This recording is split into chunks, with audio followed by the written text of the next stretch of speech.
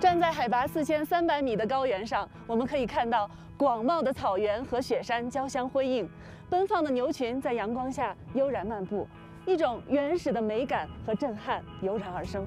那么，在这样一片广袤而美丽的山地中，正在这里驻训的西藏军区某旅的官兵们却无暇欣赏风景，他们正在进行冲刺前的大考。那么，他们将带给我们一段怎样精彩的故事呢？啊，连长，你们们在训练什么呀？你们现在正在进行什么训练呀？呃，我们现在就是为了我们那个实弹演习，然后我们在各个两个班的班长在进行 PK，主要是我们的那个嗯单兵综合作业的，然后比武比赛。平时都是这么热闹吗？对，因为平时的时候就是为了也调调动一下大家的训练积极性，然后我们就平时就采取小比武、小竞赛的方式，然后让大家然后训练激情高一些。这项训练叫单兵综合作业训练，检验的是官兵在其他成员战损的情况下，仅凭一人之力能否快速完成整个发射流程，最终将敌目标摧毁。第一个，首先我们这个冷静、沉着应对那个突发情况的能力；第二个，也是为了实弹射击打基础，然后让自己包括考试啊出现各种问题啊，都能够积极的去面对它，然后去解决它。张班长准备好没有？开始！在高原上训练，体能消耗很大，如此火热的训练场面需要官兵们加倍付出。此刻，站在训练场上的廖丽却显得有些急躁。公布一下刚刚的比赛成绩：王洪涛三分二十四，张泽健三分三十五。张健到。你这个成绩啊，你现在今天这个状态，你怎么打实弹啊？联合实兵演练即将开始。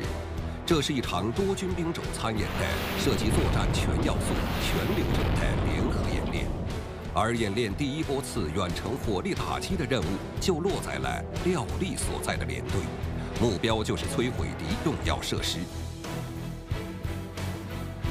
此时，连长廖力正在加紧训练，因为在此前的实弹试射中，他们的表现并不理想。第一次打的效果不是很好。离这个目标点的偏差还是有个三五米吧，在我们看来都已经算已经偏的已经有点大。为了弥补之前试射的不足，炮长王洪涛训练得非常认真。他深知他代表的不仅仅是自己，更是全连的荣誉。他一定要在即将到来的实弹射击演练中打出最优秀的成绩。连长就是说。虽然我们连只打一门炮，但是还是希望让我来打。连长既然选择让我们炮班来打，我觉得这是一种信任。当时就想着把这次给打好，完成好。双手交叉好啊！事实上，不仅仅是实弹射击前的训练，廖丽在日常训练中要求都非常严格。因为我们连连长是南方人嘛，四川人嘛，跟你说，今天要是比过我的。好，你可以休息。没有比过我的，你就你就给我好好训练。经常就这样说。你这种怎么打实弹？你说，你连我都比不上，怎么去打实弹？连长，要不我们比一次？好。为了让战士们燃起信心，激发最强战力，此次单兵综合作业训练，廖丽又与战士们比在了一起。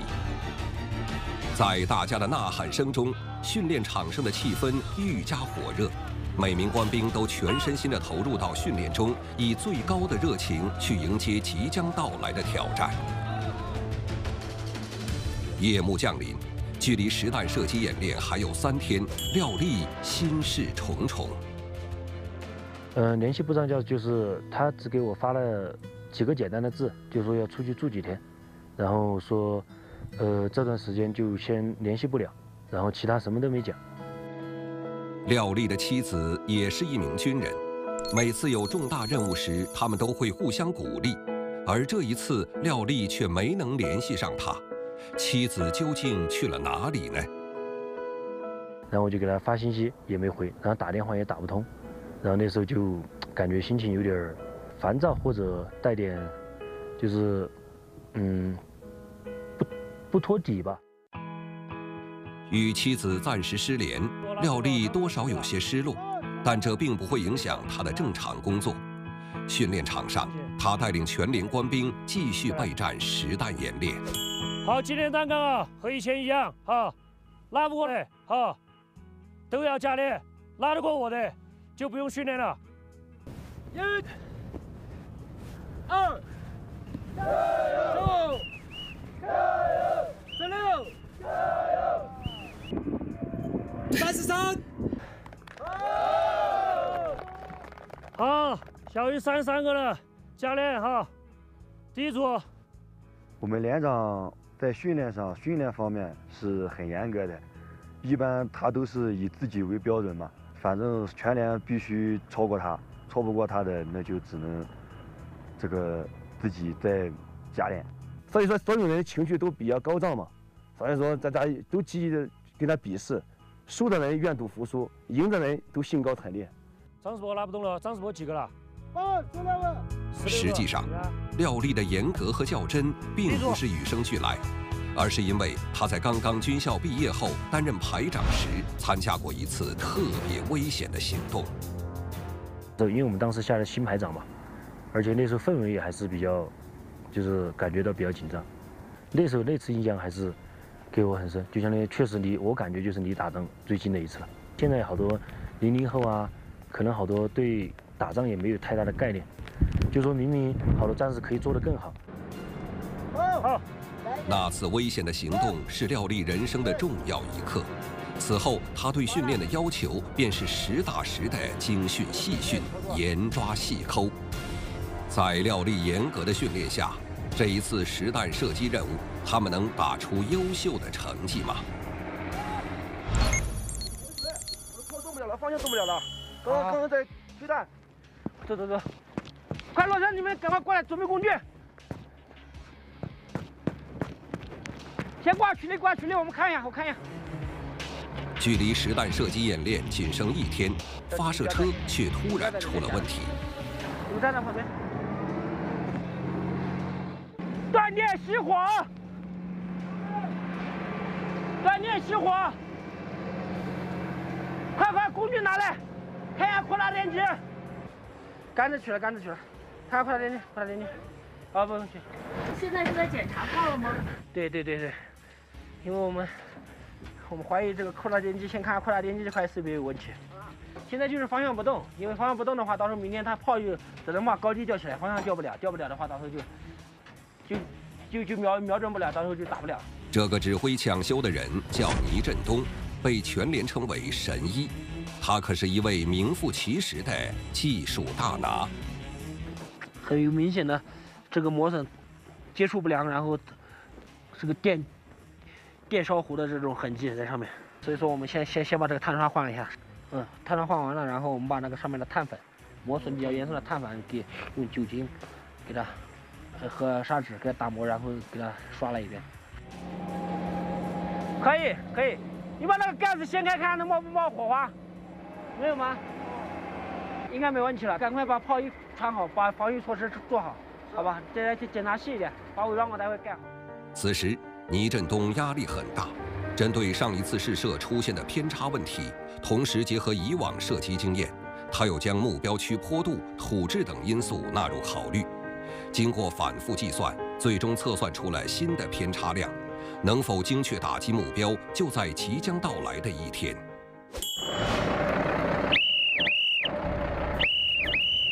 集合，扫群，同志们，我们马上向待机地域机动。今天上午我们要进行实弹射击，下面我就实弹射击记一下要求：一，装填过程中注意个人安全；二，操作过程中严守操作规程；三，出现紧急情况立即报告。以上要求是否清楚？下面我们组织领枪。凌晨五点，在高原漆黑的夜色中，各作战单元听从指令，火速集结，向指定地域快速机动。抵达预定区域后，为确保实弹射击万无一失，技术主任倪振东来回往返于各个炮车之间，一遍又一遍地检查着所有流程细节。你现在是在检查什么呀？我看他们装填完这些准备工作搞完没有？我看你已经来来回回走了几趟了。对对对，还是有点不放心，所以说把每个炮都检查一遍，主要是在看他们装填当中的很多注意事项，呃有没有做到位，主要还是感觉实弹射击压力还是蛮大的，都想着每个动作都还是能能尽量看到的都去看看一遍，都检查一遍，这样心里面才有底。在海拔四千多米的高原上，每天行走上万步，倪振东从未感到疲惫，也从不敢懈怠。什么时候坏的呀？呃，穿了有几个月了。在野外，野外这个磨损还是比较大的，很正常，很正常。为了以最快的速度解决装备故障问题，倪振东不仅磨破了鞋子，还撞伤了眼角。就是昨天下冰雹了，然后，然后往外探，撞到一个旁边的一个人的枪上面了，所以当时撞到这里了，把这里割割破了，然后这里稍微肿了肿了点。用力扯啊，扯哪里没事啊？廖力所在发射单元正在忙碌着，装填火箭弹是非常关键的一步。而在这个过程中，有一位战士的工作特别显眼。一直摇这个累不累？有点累，有点累。是。这怎么坚持的呀？他说现在习惯了，经常摇一位。那你手会磨出茧子吗？手？有，有一点点。这么黑啊？是上面有油？这是茧，这是茧子吗？嗯。是摇，已经摇了几枚蛋了？摇了差不多二三十回了吧。吉布尔三甘孜阿坝人，负责实弹装填中手动送弹的任务。由于战场情况瞬息万变，为了更贴近实战，以确保在任何情况下都能完成装填任务，此次他们特意选择两种装填方式：电动和人工。而面对人工摇把这项繁重的体力活，吉布尔三却感到无比轻松。这个工作对我来说是。特别轻松，因为我以前在家里面的时候，很小的时候就干，干一些特别重的农活，就什么背水啊，后挖地啊，什么背什么包谷啊，这些，什么活都干在家里面。吉布尔三自认为力气很大，但是心中却有一个很难战胜的对象。那如果让你和连长？比一比的话，你觉得你们俩谁的力气大？跟我连长肯定比不了。干的时候不要隔杆太远，你不要绕到这外面来。连里很多战士都把廖力当作偶像，在跟他不断比拼的过程中慢慢成长。感觉连长上，平时跟我自己的父母一样吧，就是感觉自己做的再好，都比不过自己的父母一样。此时距离实弹射击仅剩一个小时，发射车突然出现了异常情况，廖丽十分紧张。主任，主任，幺零幺这边点火组织一直下不去，你赶紧过来看一下。好的，好的，我马上过去。咋回事？准准，就是我们这个十号管检测了好几次，组织一直下不去。啊我们前期的这个方案进行处置嘛。你下来我看一下，下来我看。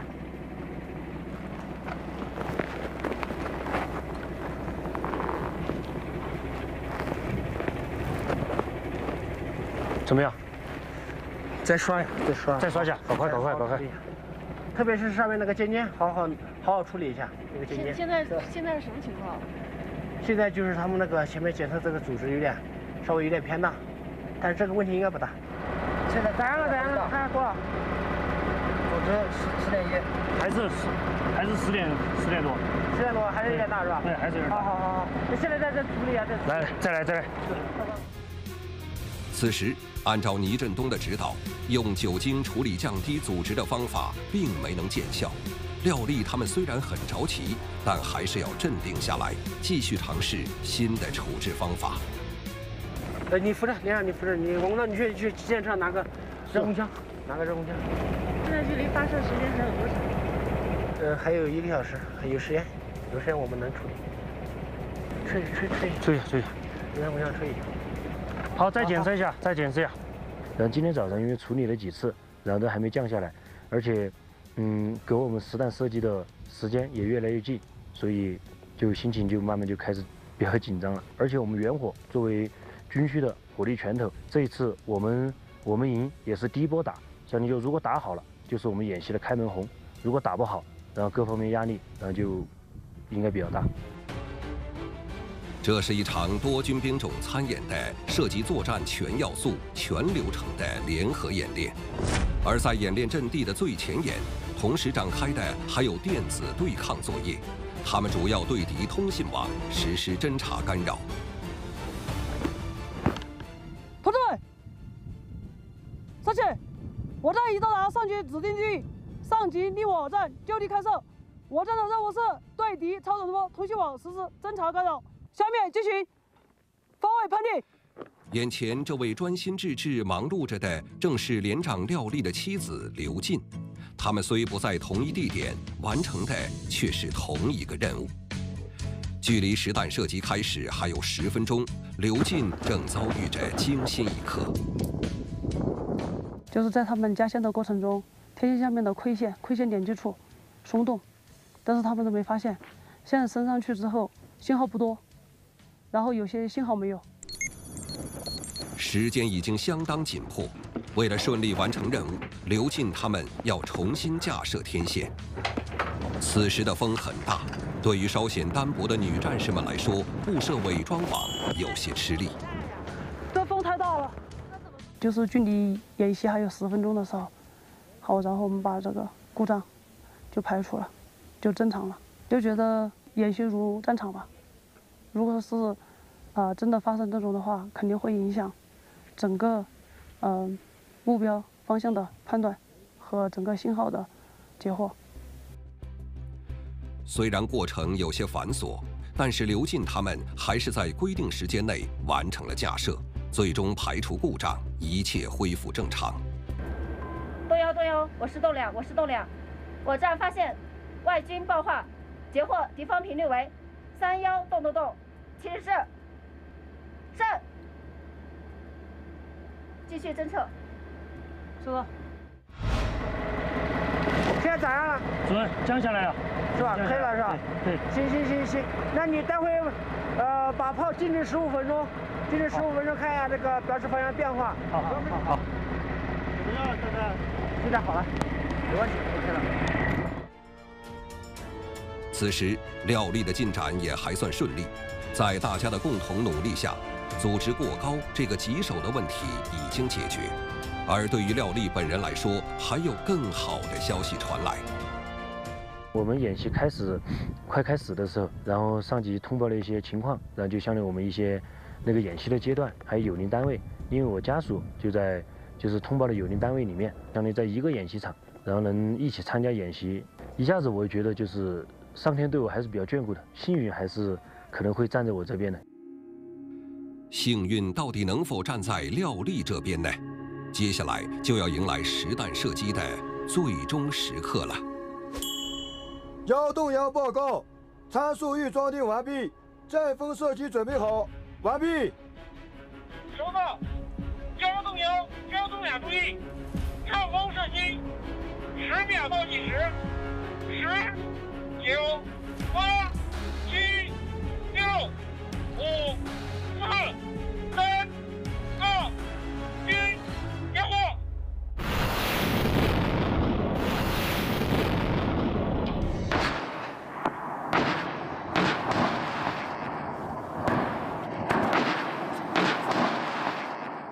幺洞幺报告，五发发射了，无流膛，完毕。收到，幺洞幺转移。当听到营长喊说出那个准备发射海下那个呃数字的时候，数到五的时候按下去的那一刻，看到五发弹全部出膛，感觉心情心里还是很放松、很舒畅。我们远火作为火力拳头，然后如果我能将前面的敌人然后消灭的最多最大化，所以我觉得这个就很不一样。我们肯定是离敌比较近的嘛，然后他们比较远。他在远处就就就相当于我我们一个强大的一个后盾，对我们是就是说很形成了一种很大的安全感。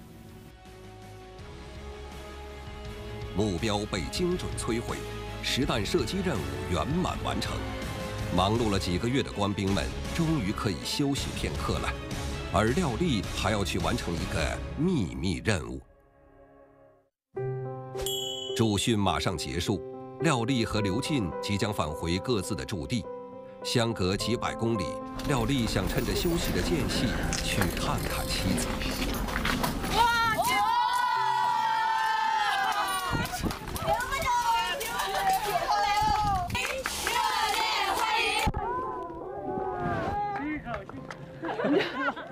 你们你们羡慕了吗？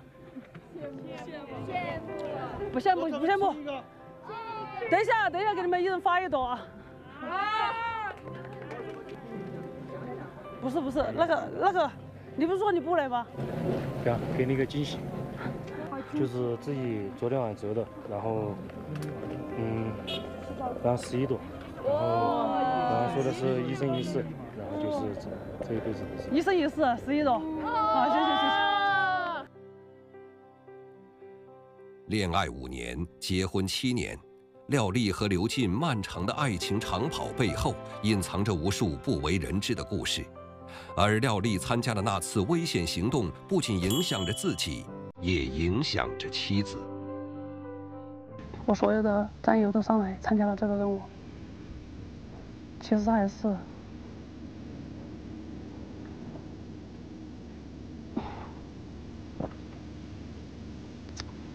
没有过那有家，也能，唉，也能理解吧。如果那一天来，嗯，他最担心的就是我以后怎么办。刘进作为一名军人，也作为一名军嫂，给廖丽最多的便是理解与支持。但是，军人的职业吧，有过才有家。如果那一刻真的来临，你要怎么办？干就行了，上就行了。你不上别人教啥？那你不上，后面的人民，后面的小孩孩子，我们的下一代叫啥？总要有人站在前面。这是在高原上最美丽的相遇。短暂的见面过后，激情满满的他们又将天各一方，奋斗在各自的岗位上。他们彼此理解，彼此珍惜，共同奔赴强军新军的伟大征程。从连长廖丽和他的妻子刘静身上，我们可以看到，军人的爱情是一种默契，他们并肩作战，他们共同成长。让我们祝福军人们能够在军营里建功立业，同时也能把自己的小家经营的温馨、和睦、幸福、美满。好了，高原上的这段故事讲到这儿，就要画上一个圆满的句号了。让我们共同期待下期再见，拜拜。